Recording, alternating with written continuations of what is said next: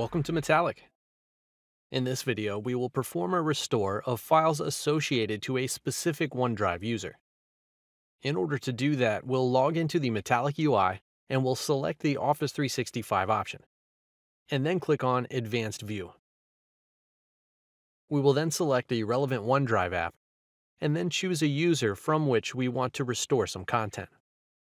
We will click on Restore, and then click on Restore Files.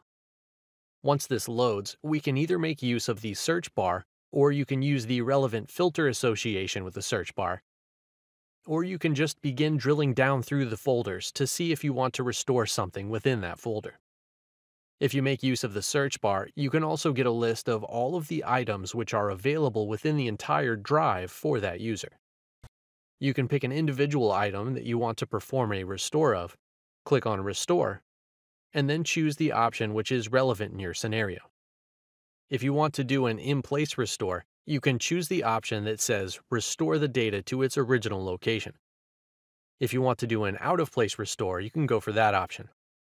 In the case of out of place restore, you do have the ability of performing the restore to a different user.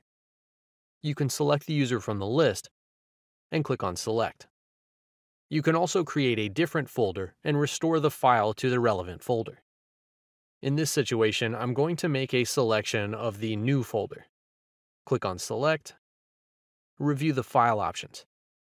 The file options give you details about what the behavior would be if the file already exists in that location. You can either skip the restore, you can restore it as a copy, or you can do an unconditional overwrite. If you have chosen multiple items to perform the transfer of, all of those items will be listed here. You can then click on Submit. And then to review the progress of the restore job, you can click on View Job Details. Thank you for watching.